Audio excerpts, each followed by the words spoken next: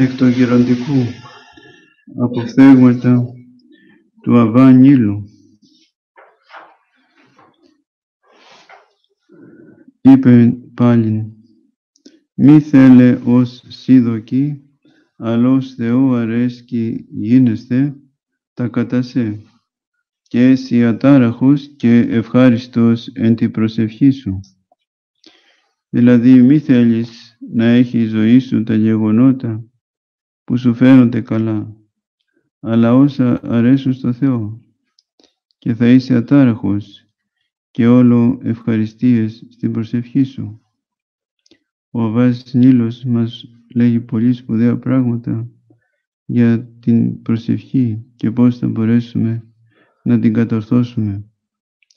Εάν θέλεις να κάνεις ατάραχη και σωστή προσευχή και να έχεις ευχαριστία και δοξολογία και ευγνωμοσύνη και σωστή στάση απέναντι στο Θεό, να μην έχεις δικά σου θελήματα και αυτό που εσύ θεωρείς καλό να μην θέλεις να γίνει, αλλά να θέλεις να γίνει αυτό που θέλει ο Θεός, το οποίο εσύ ίσως δεν σκέφτεσαι ή ίσως το βλέπεις ως μη καλό, ως μη συμφέρον.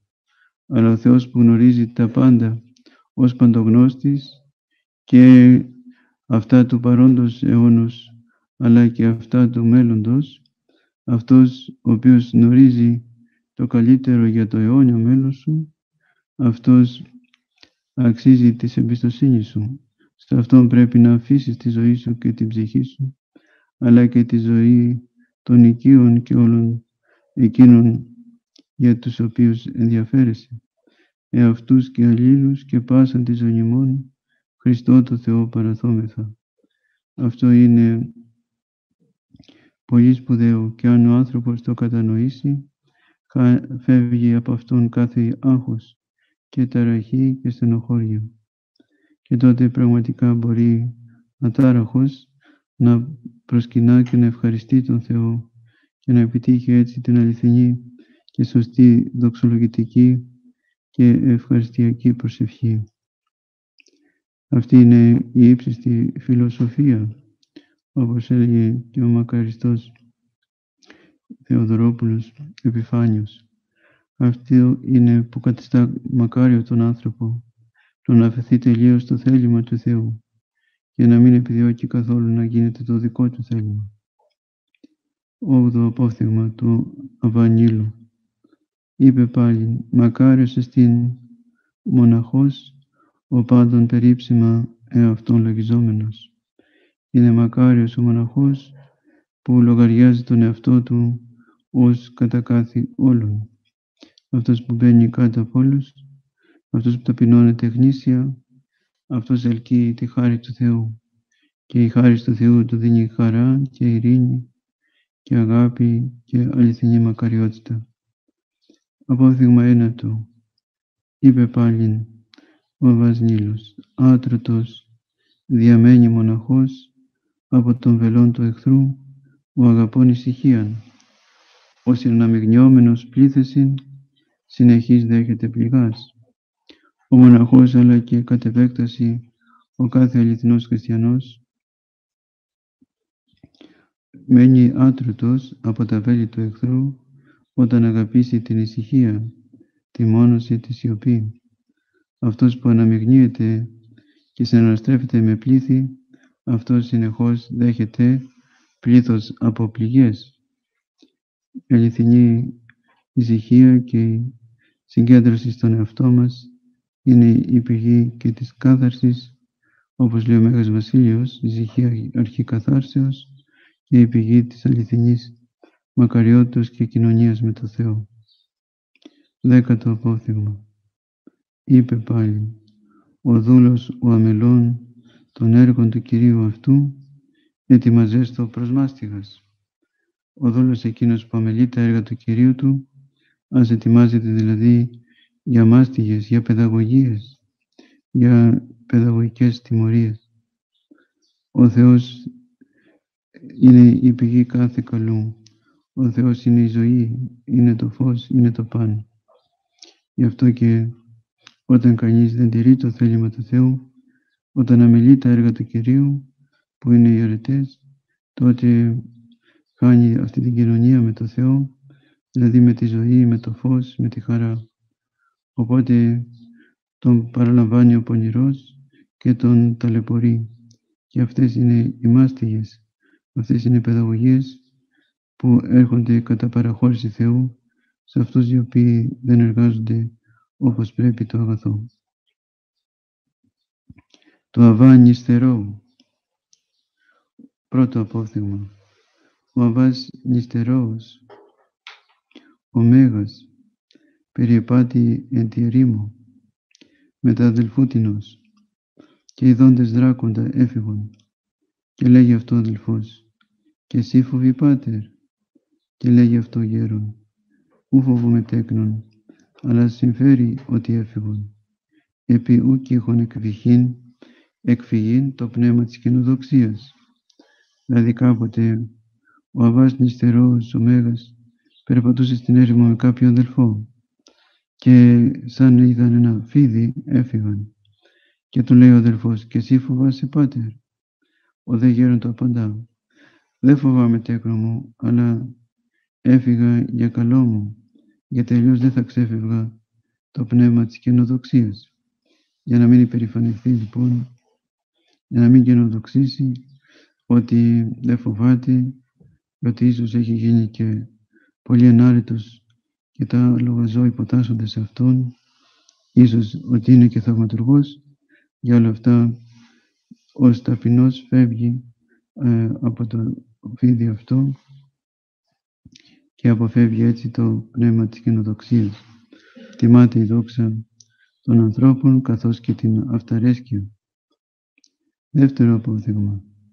Αδελφός η ρώτησε γέροντα λέγον ποιον καλό πράγμα εστί ή να ποιήσω και ζήσω με αυτό; Ποιο πράγμα είναι καλό να το κάνω για να μπορέσω να ζήσω σε αυτό, δηλαδή ποια αρετή για να μπορέσω να κερδίσω την αιώνια ζωή. Και είπε ο γέρον, ο Θεός είδε το καλό. Αλ ήκουσα ότι ρώτησε της των πατέρων, τον Αβάν Ιστερών των Μέγαν, των φίλων του Αβάν Τονίου, και είπεν αυτό, ποιον καλόν έργον εστί ή να ποιήσω, απάντησε ο γέρον, ο Θεός γνωρίζει το καλόν αλλά άκουσα ότι ρώτησε κάποιος από τους πατέρες τον Αβάνιστερό του Μέγα, το φίλο του Βαντονίου και του είπε ποιο έργο είναι καλό να κάνω; Και είπε αυτό ούκ εσύ πάσε εργασία είσαι δεν είναι όλες οι εργασίες ε, ίσες όλα τα πνευματικά έργα σπουδαία και μας οδηγούν στην αιώνια βασιλεία. Η Γραφή λέγει ότι Αβραάμ φιλόξενος είναι και ο Θεός είναι μετά αυτού. Η Γραφή λέγει ότι ο Αβραάμ ήταν φιλόξενος και γι' αυτό ήταν ο Θεός μαζί του. Και πάλι ο Ηλίας ηγάπα την ησυχία και ο Θεός είναι μετά αυτού.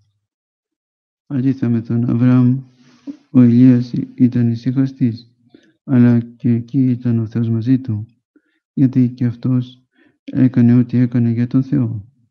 Και ο Δαβίδ ταπεινός είναι, και ο Θεός είναι μετά αυτού. Ο ούν θεωρείς την ψυχή σου θέλουσα κατά Θεόν, τούτο ποιήσον και φύλαξον την καρδία σου.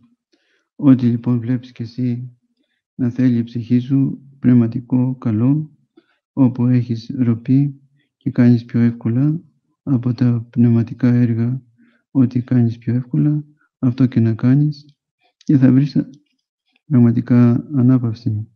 Και από την άλλη μεριά να φυλάξεις την καρδιά σου, να μην γίνει κατοικητήριο ε, ληστών, δαιμόνων και παθών. Δηλαδή ο άνθρωπος πρέπει να εργάζεται τις αρετές και συνάμα να προσέχει την καρδιά του να τη φλάτει καθαρή από κάθε κακό λογισμό. Τρίτο απόφθεγμα του Αβάνι Στερόου. ο Αβάς Ιωσήφ λέγει το Αβά νηστερό τι πίσω τη γλώσσα μου ότι ούδη να με κρατήσει αυτής και λέγει αυτό ο γέρον. Εάν ούν λαλήσεις έχεις ανάπαυση λέγει αυτό ουχή και είπε ο γέρον ή και έχεις ανάπαυση γιατί λαλείς μάλλον σιώπα και αν συμβεί ομιλία πολλά άκουε μάλλον ή λάλη. Δηλαδή ρώτησε ο Βάσιος Ιωσήφ το να νηστερώ τι να κάνω με τη γλώσσα μου που δεν μπορώ να τη συγκρατήσω; Και του λέει ο γέρον εάν μιλήσεις έχεις ανάπαυση; Λέγεις σε αυτόν ο Βάσιος Ιωσήφ όχι. Και λέει ο γέρον αφού δεν έχεις ανάπαυση γιατί μιλάς; Καλύτερο σιώπα και αν συμβεί να υπάρχει συνομιλία, εσύ κυρίως να ακούς τα πιο πολλά, να, κυρίως να ακούς και λίγο να λαλείς. Περισσότερο να, μιλά, να ακούς παρά να ομιλείς, παρά να λες. Λέμε και εδώ και θαυμάζουμε τη διάκριση των Αγίων Πατέρων, πώς βοηθούν όλους ανάλογα με την κλίση που έχει ο καθένας, να προοδεύσει πνευματικά και να σωθεί. Ό,τι βλέπεις, λέει ο Αβάς Νηστερός, να αρέσεις στην ψυχή σου και εύκολα το κάνεις, αυτό και να κάνεις από τα πνευματικά, χωρίς βέβαια να μιλήσεις και τα υπόλοιπα, έτσι ώστε να φυλάτεις καθαρή την καρδιά σου και όλη σου την ύπαρξη. Και το άλλο που μας λέγει ο Αβάς Νησταρός είναι να προσέχουμε τη γλώσσα, να αγαπήσουμε τη σιωπή και έτσι θα γίνουμε αληθινά σοφοί. Θα προσευχόμαστε και θα κερδίζουμε και από την πείρα των άλλων και θα αξιοθούμε έτσι και της Βασιλείας του Θεού. Θες αυτόν Αγίες Πρεσβείες Χριστέ ο Θεός, ελέησον και σώσον ημάς. Αμήν.